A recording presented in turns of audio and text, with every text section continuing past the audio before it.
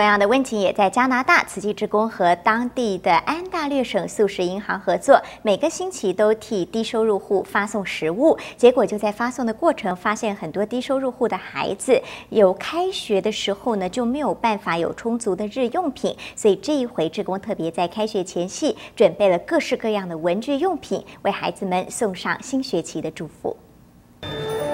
一个书包怎么能让孩子笑得这么开心？或许很难想象，在社会福利良好的加拿大，还是有家庭连为孩子准备铅笔、笔记都有困难。I know the parents, the single parents. I know the kids without parents. They all like they don't have money to buy the bags. Sometimes they go without bags and crayons and the pencils. So this is very helpful especially the food bank clients, they are all low income, no income people.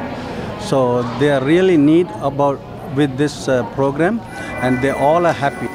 A notebook, sharpener and pencil crayons.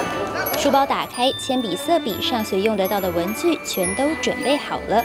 The school supplies that you give to the kids are high quality school supplies because that was one thing Malan and I we discussed. I said, look, I want these kids to get really good school supplies. I don't want these children thinking that they're second best. 加拿大慈济人从去年十二月开始参与安大略省素食银行每周的发放，发掘孩子需求，主动提出计划，就像为自己孩子准备开学一样用心。也因为这样，第一次的学用品发放就能贴近孩子的心。在新闻真是美职工牛田苗李家祥加拿大报道。